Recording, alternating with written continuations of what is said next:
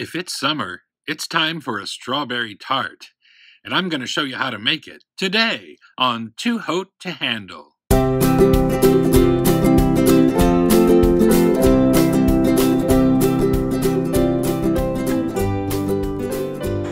Welcome to the season two opener of Too Haute to Handle. I'm your host, Howie Hope. And now let's make that strawberry tart. So that tart was beautiful, right? Now, uh, the most critical element of the tart, well, they all, all the layers need to be delicious, but the most critical layer, the layer that supports it all, is the crust, the freestanding pastry shell. And these are all the ingredients you need to do it. It's basically flour, some fat, pinch of salt, and a little bit of sugar. And what we want to do is incorporate layers of butter, flour, butter, flour, butter, flour, uh, like that to keep them separate even though we knead it all together, we need layers and layers to make that tender flakiness when it cooks. Now, the most critical element in doing all this is controlling temperature. You want it to be absolutely cool or even downright cold as you're working. So I'm going to measure out the ingredients first, and then this is all going into the freezer for 20 minutes or so before we begin even trying to make it into dough. So we'll start off with a cup of flour, I like to use the scoop and level message method, that is. Scoop it and level it off, and that's a pretty good accurate measure of a cup of flour. Scoop and level. Two cups. That's all we need there. Now also in this flour, we're going to put oh about a teaspoon of salt, and about two tablespoons of sugar. This isn't really going to flavor the dough all that much, but it will help it when it comes to browning. The sugar caramelizes in the dough and gives it that nice golden brown color. Now, uh, the other measurements, you need a stick and a half of butter, that's six ounces, and also four ounces, or four tablespoons, I should say, of standard vegetable shortening. And just measure a tablespoon at a time and scoop it onto the same plate with the butter. Now, some pie doughs you could use all butter instead of the shortening, but with the standard general purpose flour we get in the United States, it's made from very hard wheat, and if you don't add the shortening, the crust can turn out to be uh, quite brittle. If you're using a softer flour, like those some that you can find in European places, or just a cake flour and things like that, well, you wouldn't have to add the shortening, but it works well for the crust. Um, so that's it. Flour, a little bit of salt, a little bit of sugar, butter, and shortening. So now all these are going to go into the, fr the freezer section for at least 20 minutes and then we'll come back and show you how to put the dough together. Alright, so 20 minutes have magically gone by and I've taken this flour, salt, and sugar mixture out of the freezer. And we're going to use a food processor to help us make this dough. Now this is not the traditional way to go, um, but it is fast and convenient. If you want to see how traditionally this dough is made, look up my video on quiche Lorraine because I show you the hand method in that process. But this, with all doughs, it is absolutely essential to work as quickly as possible because you want the ingredients to stay as possible. Now I've just put those in there and I'm just going to pulse it a few times. Kind of give it a quick spin around and mix up the salt and sugar and flour and then I'll go for the butter and the shortening. Now for the butter, it's pretty hardened. I'll take an entire stick and cut it in half and then right down long ways, flip it and long ways again. So you've essentially made four sticks and then chop it into smaller chunks. And then the same with the next piece.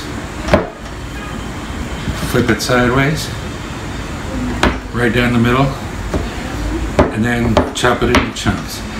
Touch it with your fingers as little as possible. I know you have to a bit to get it to work around, but even the temperature of your hands or your body temperature will start to melt that butter. Now, if you're in a situation like I am today, which is in a very hot kitchen uh, without air conditioning in the middle of summer, working quick is essential. Because if that butter and fat melts, uh, it will mix with the flour and just form a kind of a pasty goo. We don't want that. We want to keep the layers separated and the only way to do that is to keep it very, very cold. Hence the freezer method. So put all that butter in there and these four tablespoons of near frozen shortening and we're ready to go again. All right, we want to start with just pulsing it. Short bursts and do this several few times until it becomes a kind of coarse, grainy, pebbly looking. A bit right. If I can quickly show you. Yeah. Small chunks, little pebbles. Perfect. And now the final ingredient is water. This is iced water and I'm not going to use nearly this much. I just have ice in it to keep it cold. And we are going to add this a mere uh, tablespoon at a time. We'll just turn it on and slowly add the water in probably going to have no more than six or seven tablespoons. Three, four, five, six. Leave it there, let it do its thing, and we're going to let it spin until it just starts to come together and form a ball. It's almost there. And that's it, off. Just as it starts to come together, that's where we want to stop that process.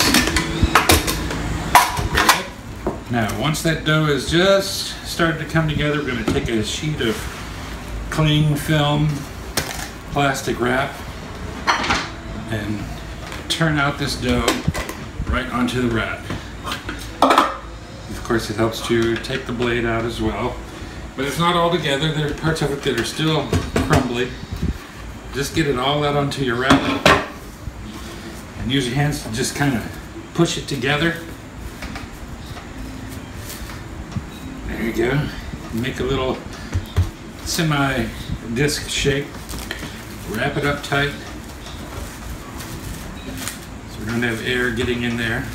And we are going to put this in the refrigerator for a minimum of two hours and overnight is perfectly fine because even now that the butter, fat, and flour is already starting to warm up and we don't want to risk it melting at all. So right back into the refrigerator it goes, minimum of two hours, even overnight is good. Now, one of the crucial things about making the pie crust is to keep that dough very, very cold for as long as you can. So we're doing as much of it uh, as possible in advance. For example, the oven is preheated to 425 and now I'm going to butter our uh, baking pan. It's a false bottom quiche ring, pastry ring, and uh, just get some butter in there. This is obviously softened a bit and no better tool than your hand to work it around. Get it all over the bottom, of course, because we don't want anything to stick but be sure especially to work it into all the fluting around the sides there. That's that, and we'll put that aside. All right, so the dough has been in the refrigerator overnight, and it's fairly hardened up, and that's great because all the layers of fat, essentially the butter and the shortening, have uh, hardened and solidified in place in between layers of flour. Now, you want to work very, very, very quickly because we don't want that butter and fat to melt. And the first thing you want to do is probably just uh, scatter some flour on your work surface. This is a little marble slab I have because it helps it to stay cool. And some flour on top of your dough. And get serious with it. Beat it a bit to help get the process started and turn. Turn it over. Some more flour right there. Turn it again. And we're close to ready. Put some flour on your rolling pin. Doesn't hurt to have it on both fingers because it keeps it from sticking to you. And then roll. You want to go not all the way to the end because it, the ends will taper and become too thin. We go almost to the end and push it back and go almost to the other end. There you go. And keep it turning. Got to try and work quickly as we can. And some more flour.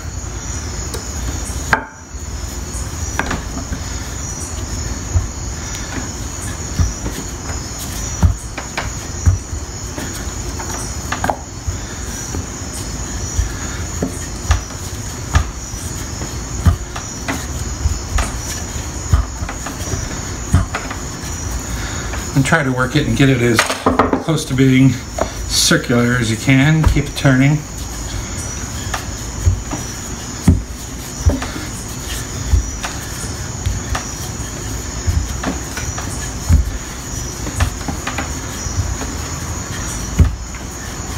And we want a uh, pretty even consistency, maybe about 3 eighths of an inch thick all around. And of course you can always grab your pan and just measure it and see. Yes, we've got plenty of extra. So, I found the easiest way to do this is just fold the dough in half there and then fold it in half again. And working quickly, pick it up and put that point right in the center of the pan. Unfold it out and unfold it out.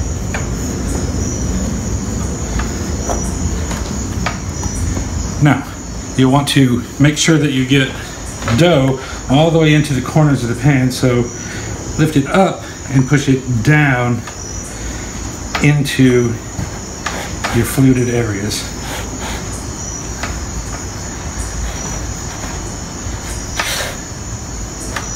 And this dough is already pretty soft because working in a very hot kitchen with no air conditioning. So all the way around, up and push it down so that we have a really thick sidewall because this pie is going to support itself, or this tart I should say. So get it all, there you go, fairly evenly pushed into the fluting of the pan. And then take off the excess just by rolling over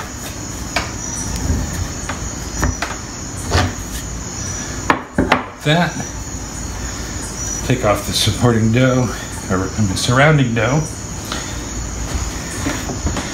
And you see some places are, the wall is a little thicker, so just go around and push back then up to make it about as close as you can come to even thickness.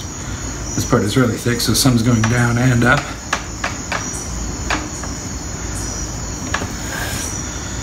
And now I can do just a little bit of decoration fork or the back of the knife. Just take your fork and go around and as you squeeze it up, make a little imprint.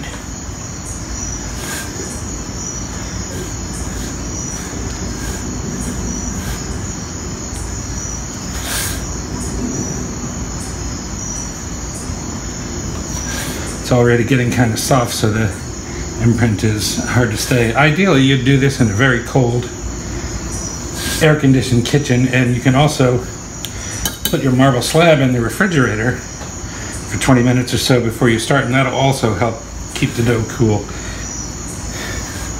And that's it, so it's basically formed. The last thing we want to do at this stage is to dock the base, which means just go around and poke a few holes which is going to allow steam to escape so this doesn't bubble up in the oven.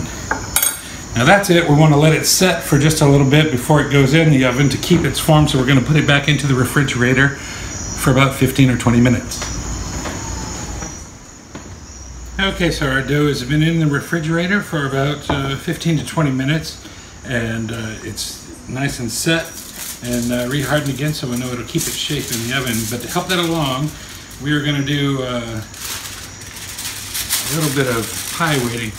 I've got two sheets of aluminum foil and we're just going to cover the base of the pie with and make sure that you go around and push it all the way into the surface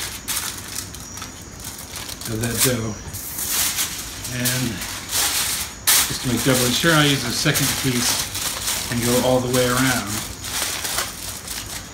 Now what we want to do is help the dough keep its shape because it'll tend to expand in the oven and steam up. And even though we've docked it, poked those little hose to allow the steam to escape, there are still pockets of uh, little minute bubbles that will try to expand in the eating. So what I have here, this cup is nothing but little ceramic beads. They weigh practically nothing but together. So you just pour in all the beads and push them out to the rim of the pan. Now you don't have to use ceramic beads. I know people who use beans, just dried pinto beans or garbanzo beans or rice or any other kind of thing that's uh, oven proof just to hold it. Now that's all we need to do and we're going to immediately stick that into a 425 degree oven.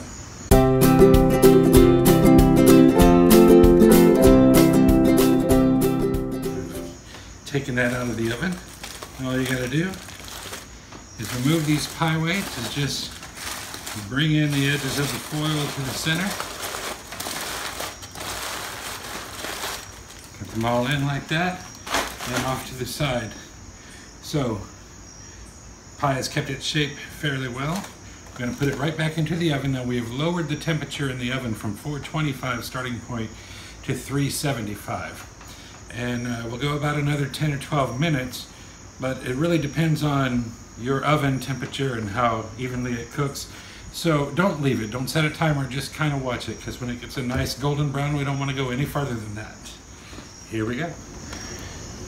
So in the meantime, we've got our pie back, our uh, pie shell back in the oven uh, to finish its cooking. In the meantime, we can start the top layer of the pie, which is the glaze.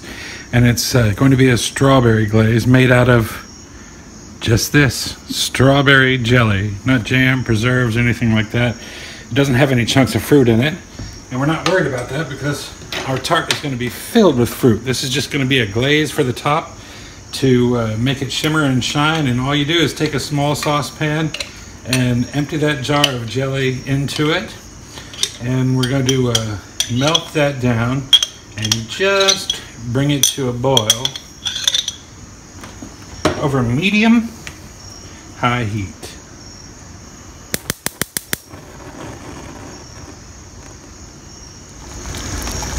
And as it starts to bubble and simmer, you can just help it along with a little whisk.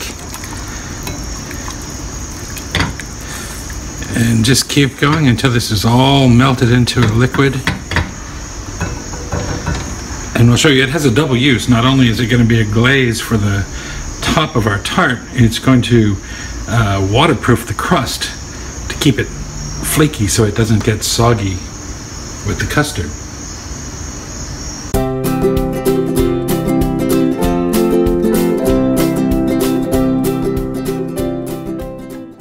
Looking good, looking good.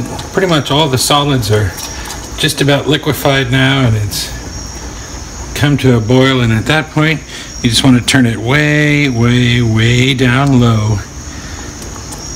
Almost as low as your little flames can get. So we want to keep it liquefied, but not boiling away. And it can slowly reduce and get thickened on its own while we pay attention to something else. All right then, coming out of the oven. Just a tender golden brown. And that's just what we want. We're gonna let it cool off for a little bit here. Then we're going to uh, transfer it onto a cooling pan there. I made a cooling rack.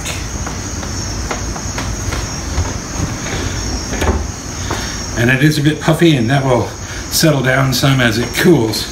But the next thing we're going to do now is glaze the bottom of this so that it's uh, waterproof so our custard doesn't soak through the little vent holes we put in it. Okay, now that that shell has had a chance to cool, we're going to take the strawberry glaze that we've made and just kind of uh, paint it on. I want to cover the entire inside of the shell, especially make sure we get it into those corners where leaks might happen.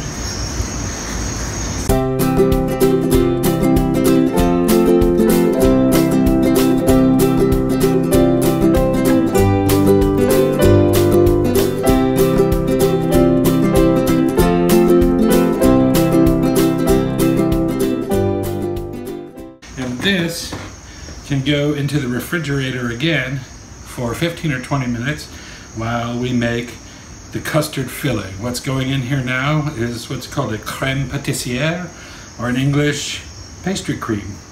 And we'll float beautiful fresh strawberries on top of that and cover it again with the strawberry glaze. Now to make the crème pâtissière, or the uh, pastry cream filling, we need to start with five egg yolks. That means separating some eggs. And I found the easiest way is to crack it on a flat surface so you don't send shards of shell into the egg into a bowl and then just use your fingers, again the best tool in the kitchen, to scoop up that yolk and transfer it from hand to hand and let the white fall away. And once you have just the yolk, drop it in your bowl. And do that five times.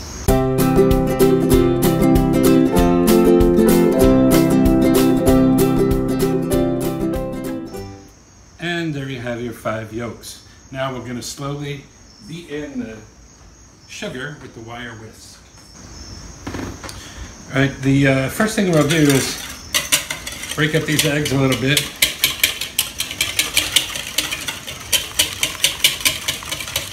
And then we want to slowly add the sugar, not all at one time or it'll be totally grainy in the final product.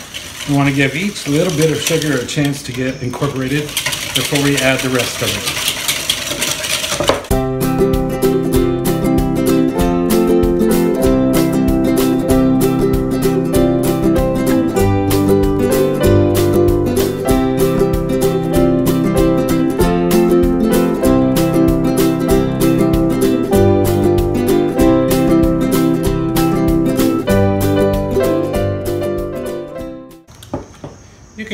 Do this with an electric beater as well.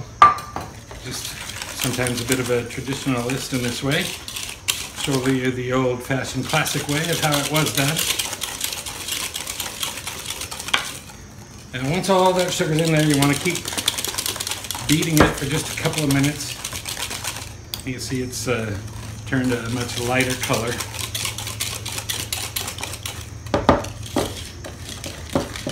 And then, finally, slowly beat in one half cup of scooped and leveled flour.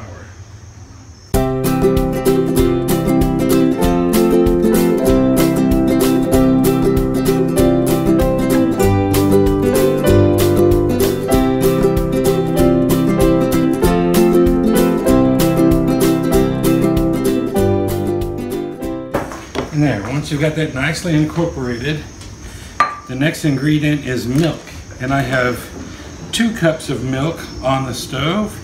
It's been slowly coming to a boil, and we will slowly drizzle that in to this mixture.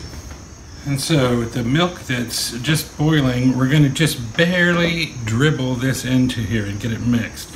Uh, it's called tempering, which means to gradually bring up the temperature of the eggs here because if we put all that hot liquid in here all at the same time, you basically get scrambled eggs with a lot of flour in them.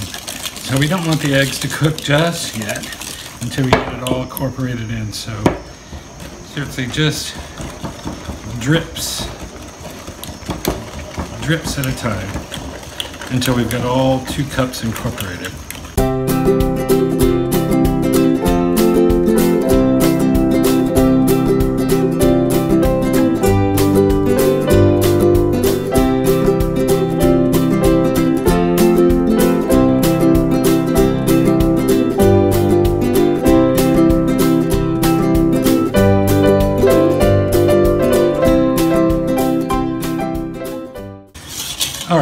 Get all the two cups of boiling milk incorporated in there, you just want to beat this for probably another two or three minutes. So get it aerated and full of foam.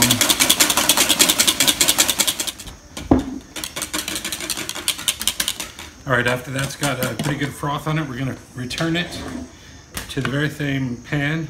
It's a very, very thick bottom saucepan. And now we'll bring this to medium-high heat on the stove and cook that custard. So we'll put this custard mixture on the medium-high heat and just we want to keep it stirring until it comes to a boil. This is not difficult at all to do, but it does take a few techniques and it's not difficult, but it does need to be watched over. But taking the time to do it right is oh so worth it. Right now, like I say, it's on medium to high heat because we want to bring it to a boil. But the most important thing is don't let the bottom of it scorch. And you can easily accomplish that by stirring with a wire whip and getting into all the corners and across the bottom. Now, some people want to do this over a double boiler. They'll boil water and have another pan that fits in top of the first pan and cook the custard on top of the steam. And you can do that, and yes, it is possibly a safer way, but it takes so long to accomplish much, much, much longer than this will. So if you're careful, and if you feel it start to scorch, just take it off the heat for a couple of seconds or a minute and bring it back. But right now, it's just the slow stir waiting for it to boil. And once it does come to a boil, we'll reduce the heat to medium low and then just beat it and beat it and beat it until it thickens up. And as this starts to come to a boil, it gets kind of lumpy. You'll see lumps in it, and that's quite all right. That's expected. Just keep it moving and make sure the bottom doesn't get scorched. These lumps will all work out in just a short time. So we're at the boil now. It's pretty much bubbling and popping. At this point, turn down that heat to a medium low and start working it. This is what's going to turn it into custard now. This thickening process right here. Get all around. Make sure you don't let it scorch. If it feels like it's getting too hot again, take it off the heat and continue whisking. If you feel any areas that are slightly bit sticky, you know, work that area of the pan until it feels free again. And back on the heat.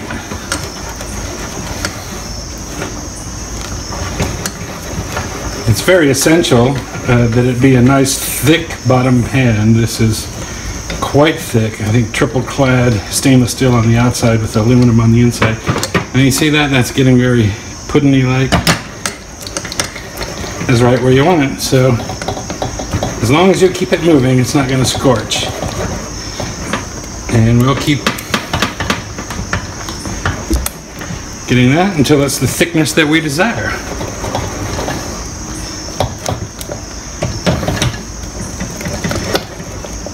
And since this is going to be in a tart, which you may not uh, serve all of it at the same time, when you slice it, you want it to be able to hold its own shape and not ooze out into the pan.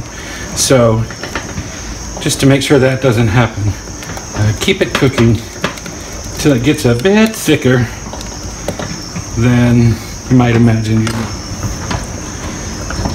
And as it thickens up, the final two ingredients you're going to put is about a tablespoon of butter Keep it stirring, melt that butter right in there to really enrich that custard. And finally some vanilla extract. About a tablespoon and a half. And combine those.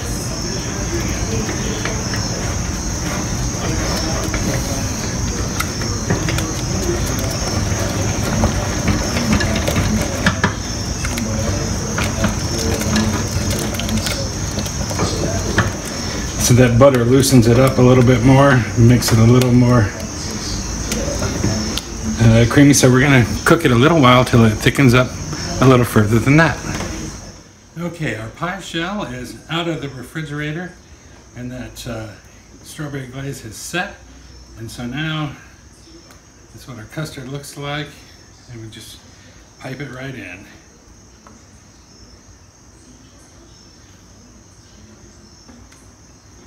Get it all into the center and it will mostly find its own level, but we may find that we need to help it to the edges.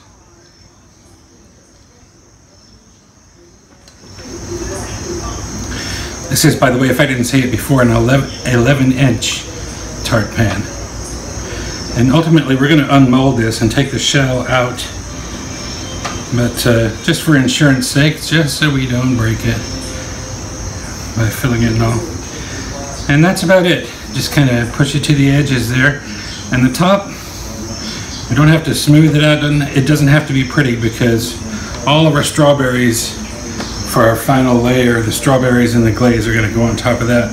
And we're going to put that back in the refrigerator for just a few minutes to let this set, get a little more firm before we add the fruit. Okay, so our creme patissiere has been in the refrigerator for about 20 minutes or so and it's nicely set.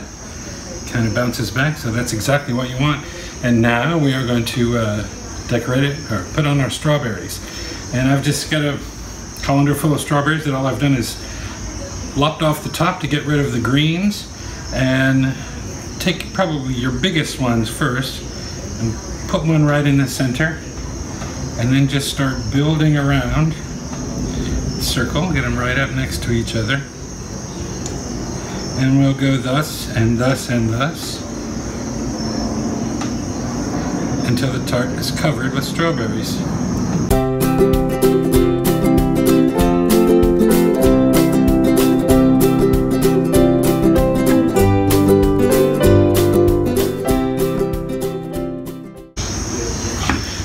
So there is your strawberry tart. Now we go back to our strawberry glaze.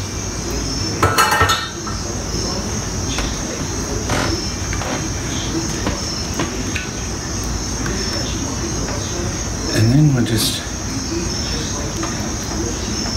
dribble that on.